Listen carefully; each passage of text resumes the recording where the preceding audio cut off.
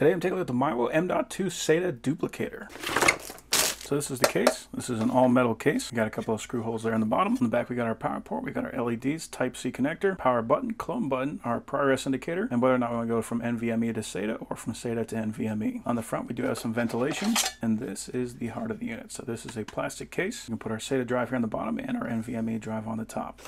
We got our power supply. It's good for 100 to 240 volts, so it's good for international or domestic, and it outputs 3 amps at 12 volts. We got a USB-C to USB-A cable and a USB-C to USB-C cable. We have a very very thick thermal pad, a screwdriver, some screws, and our buttons. So I'm going to put my button on the drive, drop this in. It is important to note that this is just for NVMe hard drives.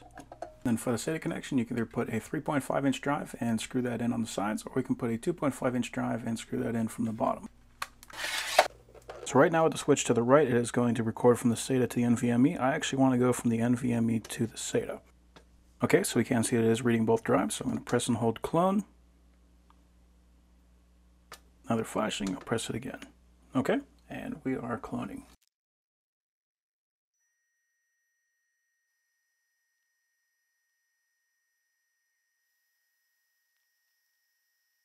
Okay, and we have got a clone. So now I'm going to plug the USB-C cable into my laptop, and we picked that up right away, and that is reading those files. Go to my computer, we are only showing the one drive, so right click, disk management. So there we can see our new drive right there. So I'm going to right click and make that online and we are seeing all the same files. Now right now it says it's 465 gigabytes. I want to use that full one terabyte so I'm going to extend the volume. Next, next, next, next, finish. And now we got that drive. So now I have both a D and a new E drive. And I want to make sure, can I actually copy from one drive to the other using the computer? And we can. So that's good. So that means we actually can access both the SATA and the NVMe at the exact same time. Not all of these can do that. This one can. And just to make sure we can write to both hard drives at the same time as well. And the last thing I want to do is a speed test.